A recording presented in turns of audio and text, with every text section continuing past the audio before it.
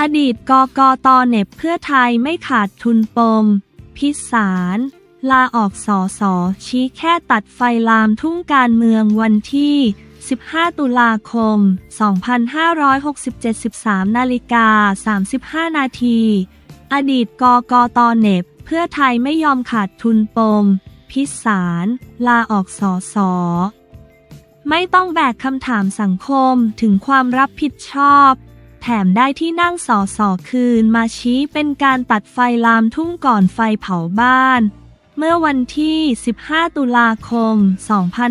2567 นายสมชัยศรีสุทธิยากร อดีตกรรมการการเลือกตั้ง กกต โพสต์ข้อความผ่านเฟซบุ๊กส่วนตัวกรณีพลเอก พิสาร วัฒนวงศ์คีรี ผู้ต้องหาคดีตากใบ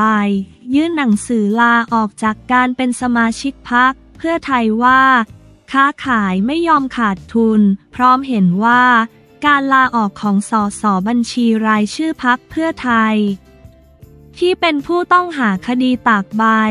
และยังอยู่ระหว่างการหลบหนีไม่มารายงานตัวต่อศาลเพื่อรอการหมดอายุความในวันที่ 25 ตุลาคม 2567 เป็นการขายที่ไม่ยอมขาดทุนของพรรคก่อนหน้านี้ สังคมพยายามกดดันให้ผู้บริหารพรรคพยายามติดต่อกับบุคคลผู้นั้น แต่ก็ได้คำชี้แจงว่าติดต่อไม่ได้ การกดดันให้พรรครับผิดชอบ โดยให้มีมติขับออกจากพรรคจึงเกิดขึ้น และจบลงด้วยการมีจดหมายลาออกในวันนี้ นายสมชัย ระบุด้วยว่าการลาออกเป็นผลให้เลื่อนลำดับสอสอบัญชีรายชื่อของพักขึ้นมาทดแทน จึงเสียหนึ่งได้หนึ่งกลับคืนมา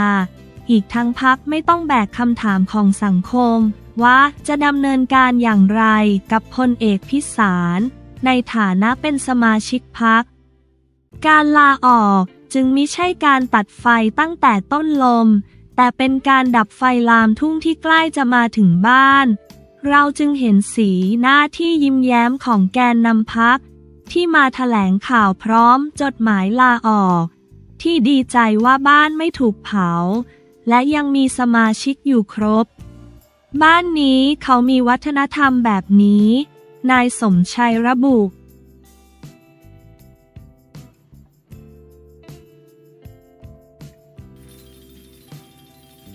อปอสุชาตาไม่ตื่นเต้นใจอยู่เม็กซิโก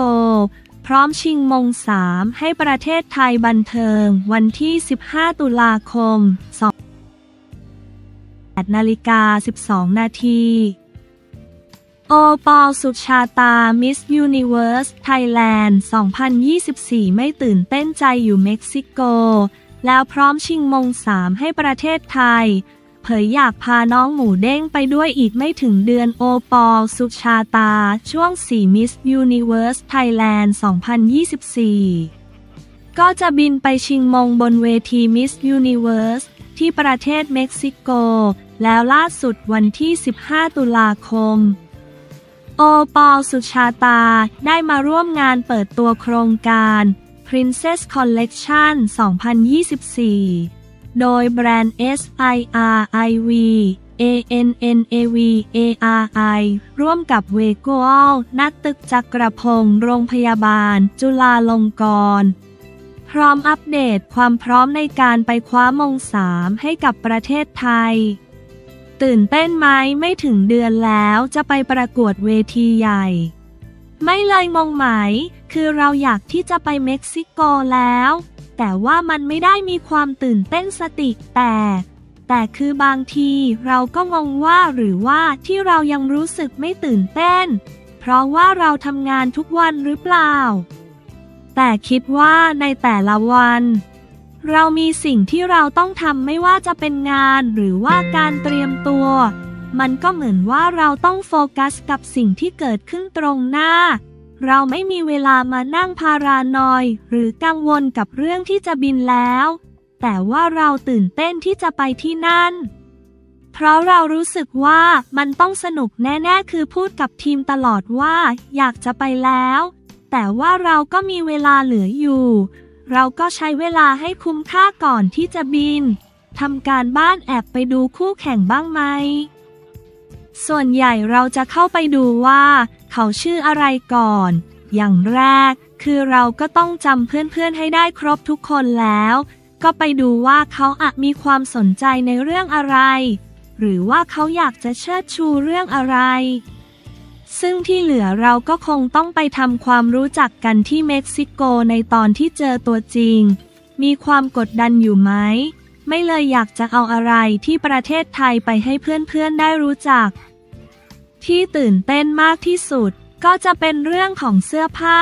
เพราะว่าปีนี้เราจะเอาผ้าไทยและชุดที่ inspire มาจากความเป็นไทยมากๆ และเราเชื่อว่าต่างชาติน่าจะตื่นตาตื่นใจ เชื่อว่าหลายๆ ชุดที่เราจะเอาไปใส่ที่เม็กซิโก รวมถึงวัฒนธรรมต่างๆ ของไทย ซึ่งบางอย่างก็เป็นสิ่งที่หลายๆ คนทั่วโลก อาจจะทราบอยู่แล้วว่าเป็นจุดเด่นของไทย แต่ว่าเราเองก็เข้าไปคุยกับทางกระทรวงวัฒนธรรมกับผู้ใหญ่มาเหมือนกันว่า อะไรที่ทางกระทรวงอยากจะให้เราเชิดชู ซึ่งโอปอลก็ไปคิด เราก็มีความรู้สึกว่าทุกสิ่งทุกอย่างที่เขาอยากให้เชิดชูสุดท้ายแล้วอะมันอยู่ที่ตัวคนไทยของเราทุกคนอยู่แล้ว เหมือนอย่างเราเจอเพื่อนๆอย่างการไหว้การทักทาย มันก็เป็นสิ่งที่เราทำประจำอยู่แล้ว เราก็แค่ทักทายทุกคนด้วยการไหว้ อย่างต้มยำกุ้งอะปีหน้าประเทศไทยจะขอยื่นกับยูเนสโก เพื่อจดทะเบียนเป็นมรดกที่จับต้องได้ เราก็อาจจะไปพูดเรื่องนี้ให้เพื่อนๆฟัง ถ้ามีโอกาสก็คือเอาซุปก้อนไปแจกเลยแล้วให้หล่อนไปทำเองเลย คือมันอยู่ที่จังหวะในแต่ละวันด้วยว่า เราทำอะไร อย่างเสื้อผ้า ถ้าเรามีโอกาสได้คุยกับเขา เราก็สามารถนำเสนอให้เขาได้ว่า เป็นผ้าไทยมาจากจังหวัดนี้นะ มีความพิเศษยังไง เรารู้สึกว่าทุกอย่างที่เราเป็นทุกอย่างที่เราเอาไปมันสามารถที่จะเอาไปเชิดชูได้หมดเลย อย่างหมูเด้งละ่ะ ก็อยากพาพวกน้องไปค่ะ แต่สวนสัตว์น่าจะไม่อนุญาตแล้ว น้องคงจะไม่เล่นกับหนู เพราะน่าจะเล่นแต่กับพี่เลี้ยงเขา คือตอนเนี้ยกำลังดูของหลาย ๆ อย่างที่เราอยากจะเอาไปให้เพื่อน ๆ เรารู้สึกว่าอยากให้มีความเป็นจุดเด่นของประเทศไทย ที่เขาได้รับแล้ว มันจะเป็นความทรงจำของเขาไปตลอด หรือว่าเขาได้รับ แล้วเขาสามารถที่จะเอาไปใช้จริง ที่เขารู้สึกว่าตื่นเต้นโอ้โห อันนี้คืออะไร เพราะว่าเราเองก็อยากจะมอบความสุขให้เพื่อนๆเหมือนกัน โค้งสุดท้ายแล้วมีอะไรจะต้องเติมไหม ไม่ว่าจะเป็นทักษะการเดินหรืออะไรต่างๆ ก็อย่างที่บอกว่าเรื่อยๆ ค่ะ เหมือนเราทำงานในแต่ละวันอย่าง เช่น ก่อนหน้านี้ โอปอลเดิน Fashion Week มา เราก็รู้สึกว่ามันก็เหมือนเป็นอีกหนึ่งการเทรนให้เราเหมือนกันในการที่เราได้เดินจริง ๆ ได้เดินอีกแบบหนึ่งที่ไม่ใช่นางงามจัด ปอรู้สึกว่ามันก็เป็นการฝึกฝนอย่างหนึ่ง ที่เราได้เอาไปใช้ และทำให้ตัวเองคล่องแคล่ว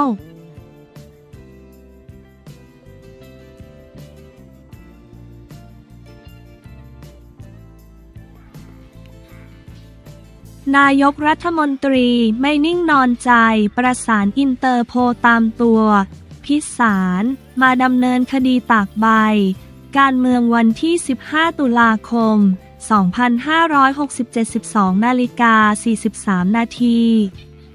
นายกรัฐมนตรียันรัฐบาลเพื่อไทยไม่นิ่งนอนใจ ประสานอินเตอร์โพลตามตัว พิสารมาดำเนินคดีแล้ว เมื่อเวลา 11 นาฬิกา 30 นาทีวันที่ 15 ตุลาคม 2567 ที่ทำเนียบรัฐบาลนางสาวแพทองทาน ชินวัตรนายกรัฐมนตรี ให้สัมภาษณ์ภายหลังเป็นประธานการประชุมคณะรัฐมนตรี คณะรัฐมนตรี ถึงการเร่งรัดติดตามตัวพลเอก พิสาร วัฒนวงคีรี อดีตสสบัญชีรายชื่อ พักเพื่อไทยจำเลยคดีตากใบ มาดำเนินคดีก่อนจะหมดอายุความวันที่ 25 ตุลาคมนี้ว่า